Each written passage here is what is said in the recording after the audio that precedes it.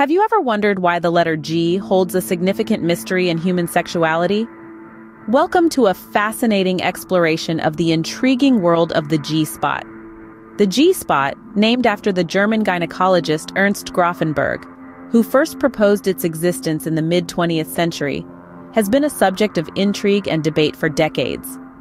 Dr. Grafenberg's research suggested that this elusive area, located within the front wall of the vagina, could be a key to unlocking heightened sexual pleasure in women. However, even with such a scientific backing, the G-spot remains a mystery, shrouded in uncertainty and speculation. Why is the G-spot so mysterious, you may ask? Well, it's primarily because despite numerous studies and personal testimonies, the existence of the G-spot has not been universally accepted by the scientific community. Some researchers argue that there's no distinct anatomical structure that can be identified as the G-spot, while others insist that it's a very real and significant part of female sexual response. The G-spot is also a source of intrigue due to its elusive nature. Some women report experiencing intense pleasure when this area is stimulated, while others find it uncomfortable or feel nothing at all. This wide range of experiences further fuels the debate and mystery surrounding the G-spot. And let's not forget the cultural significance of the G-spot.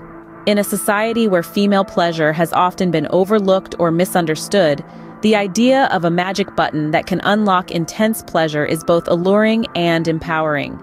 The G-spot has thus become a symbol of female sexual liberation and self-discovery. So why was the G-spot named after Dr. Grafenberg? Well, it's a nod to his pioneering work in the field of sexual health. Despite the controversy and debate, his research laid the groundwork for a more nuanced understanding of female sexuality, and for that, he deserves recognition. Now that you're intrigued, let's unravel the mystery of the G-spot. From its role in female orgasm to the ongoing debate about its existence, we'll delve deep into this fascinating topic. So stay tuned and prepare to uncover the secrets of the enigmatic G. Diving into the depth of female sexuality, where does the infamous G-spot reside? An intriguing question that has been the subject of countless debates and research. The G-spot, named after the German gynecologist Ernst Grafenberg, who first proposed its existence in the 1950s, is said to be a small area within the vagina that, when stimulated, can lead to intense orgasms. So where is this enigmatic hotspot of pleasure hidden? Picture the internal structure of the female anatomy.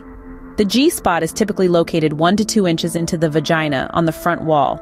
Imagine a small, sensitive area, much like the texture of a raspberry. That's your G-spot. But the G-spot isn't just a static point. It's more like a dynamic, responsive area that swells when a woman is aroused. It's a part of the larger clitoral network, which extends throughout the pelvic region. So in a way, the G-spot isn't an isolated entity. It's interconnected with the rest of the female sexual anatomy. Now let's talk about the G-spot's claim to fame, its connection to powerful orgasms. When this area is stimulated, usually through pressure rather than gentle touch, it can lead to an intense, deep kind of orgasm that is different from the clitoral orgasm. Some women also report a warm sensation or the urge to urinate right before the G-spot orgasm, which is completely normal.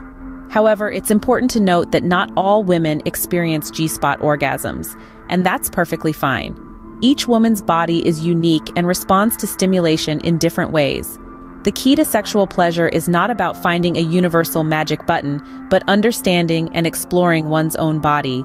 So, that's the secret behind the powerful female orgasm. But what about men? You might be surprised to know that men too have a G-spot. Or do they? The question of whether men have a G-spot has been a topic of debate for years. Some argue that the prostate gland serves as the male equivalent of the G-spot, while others dismiss the notion as a myth. The prostate gland, located just below the bladder and surrounding the urethra, plays an essential role in male sexual pleasure. It's responsible for producing a fluid that helps nourish and protect sperm. But more than that, it's also a hub of nerve endings, which when stimulated, can lead to intense pleasure and even orgasm. Many men report that prostate stimulation can lead to some of the most powerful orgasms they've ever experienced. This has led to the prostate being dubbed the P-spot, a nod to its parallel with the female G-spot. On the other hand, some argue that the concept of a male G-spot is a myth. They point out that unlike the female G-spot, the prostate isn't located within the vaginal canal. Instead, it's found externally, meaning that it doesn't fit the traditional definition of a G-spot. Critics also note that not all men enjoy prostate stimulation, and some even find it uncomfortable. This has led to the argument that the male G-spot isn't a universal phenomenon, but rather a subjective experience that varies from person to person. So what's the final verdict? Well, it's complicated. While the prostate may not fit the traditional definition of a G-spot, it's clear that for many men, it plays a critical role in sexual pleasure. Perhaps the concept of a male G-spot is less about pinpointing a specific location and more about understanding the complexity of male sexual pleasure. So we see that the G-spot isn't exclusive to women, but is it always easy to find? Finding the elusive G-spot can often feel like searching for a needle in a haystack. Why is it so? Well, the exploration of pleasure is a complex journey and the G-spot is just one stop along the way. It's a sensitive area of the vaginal wall that, when stimulated, can lead to powerful orgasms. But locating it isn't always a straightforward task, and here's why. Firstly, the G-spot isn't a distinct, separate part of your anatomy.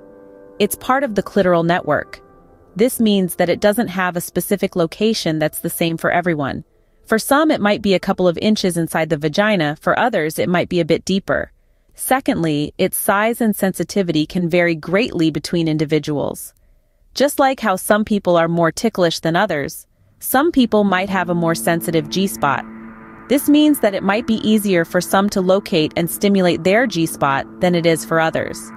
What adds to the challenge is that the G-spot doesn't function like a button that instantly provides pleasure when pressed. It needs to be aroused and stimulated in the right way, which can be different for everyone. Some might prefer a gentle touch, others might require more pressure. And here's the kicker. Not everyone might experience pleasure from G-spot stimulation. That's right. For some, it might just feel like another part of the body. For others, it might even be uncomfortable. So, if you've been on a quest to find your G-spot and haven't had much luck, don't worry. It doesn't mean you're missing out on a world of pleasure. There are many paths to sexual satisfaction, and the G-spot is just one of them. Remember, everyone's body is different, and what works for one person might not work for another. The key to unlocking your pleasure potential is understanding your own body and what feels good to you. The G-spot is a tricky one, isn't it? But don't lose hope because there's more to the story. If the G-spot is so elusive, then how else can one maximize sexual pleasure? Well, it's important to remember that the G-spot, while tantalizing, is not the be-all and end-all of sexual satisfaction. Yes, it's a hot topic, a conversation starter, and a source of curiosity, but it is not the only route to orgasm. Let's step beyond the G-spot for a moment and delve into the vast, complex, and deeply personal world of sexual pleasure. Our bodies are intricate and full of uncharted territories, each with their unique potential for pleasure. The key to unlocking these potentials lies in exploration, understanding, and communication. Exploration is about trying new things, discovering new sensations, and pushing boundaries in a safe, consensual environment.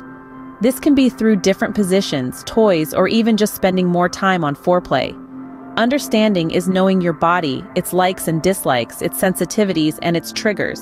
Remember, every body is different, and what works for one may not necessarily work for another. So, take the time to understand your body, its responses, and its desires.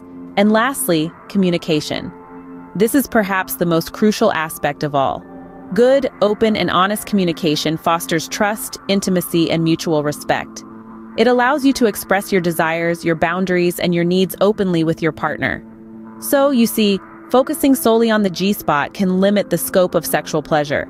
There's a whole world out there, beyond the G-spot, waiting to be explored and enjoyed.